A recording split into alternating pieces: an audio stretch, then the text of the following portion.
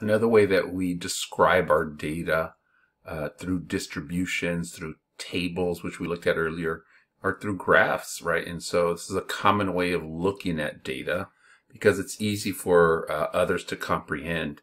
And so we revisit the idea, and again, idea will be coming, uh, will will be a constant throughout the course, is this idea of a distribution.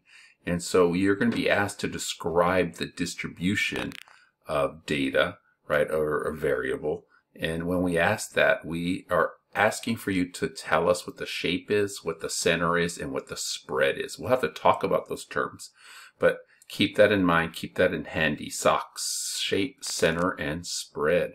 Um, important in terms of looking at the distribution of uh, quantitative variable. And so one way we start is through a table, frequency table here right? And that gets converted into our first graphic of the course, which is called uh, a histogram. And histogram looks like a bar graph.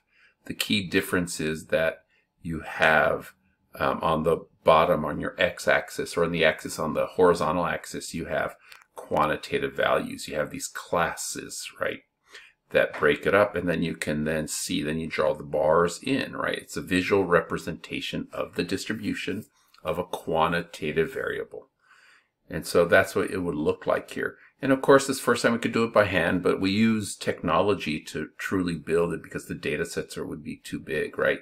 And so what you can see here is the distribution. Remember, right, we describe the distribution with shape, center, and spread, but really what that is, is what are all the possible values the variable can take? How often do those values occur?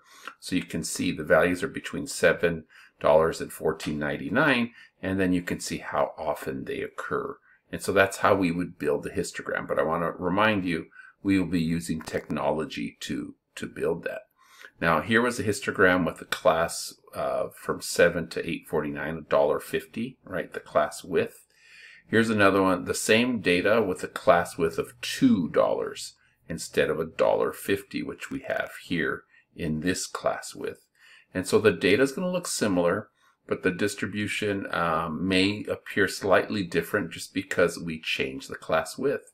And so you need to be uh, uh, understand that it's the same data, but the distributions or the histograms could look slightly different, even though the data is identical, right? And so you can see we end up with a different uh, set of values, and our bar graphs are slightly different based on um, our class width of $2 in this case. And so looking at one more example here, or uh, a problem you could try is, what would a histogram with bin size 5, right, class width 5, starting with 10 for the following ages of people on a bus. And so here's the distribution, right? Here are the all the possible values. How often does each occur?